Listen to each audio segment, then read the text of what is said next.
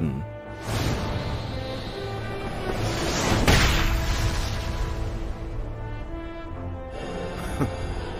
紅を塗って紅夜叉と化したかまたぞろ国崩しでも始めようというのか？それだったらあんたも長生きできただろうにな。何？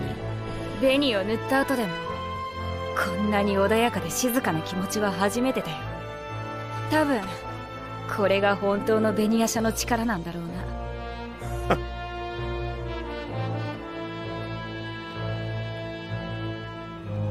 キリン丸あんたここで死ぬぜ。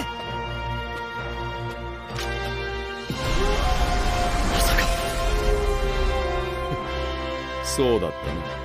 この場所は奴が死んだ場所でもあっ待てよモロハたなうんこれは。麒麟丸は私の獲物だ。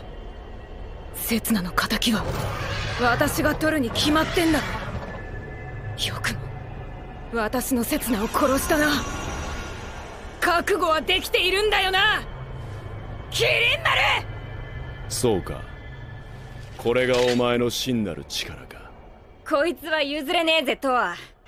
刹那は私にとっても大事な仲間だったかんな。構わぬぞ。これでも東国の獣王東雲の麒麟丸だ。2匹同時にお相手しよう。おあつらえなれ。相手して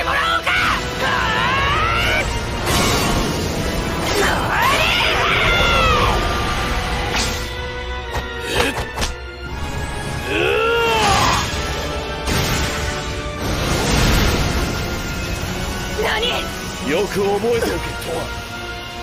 これは殺生丸が編み出した総流派という技だ。だがお前はこれを相当の竜にした。これ以後この技は相当の総流派と呼ぶがよい。そしてベニヤシャ。この交流派は見事だ。この竜はお前の意志にしか従わぬ故に押し戻すことはできぬ。うー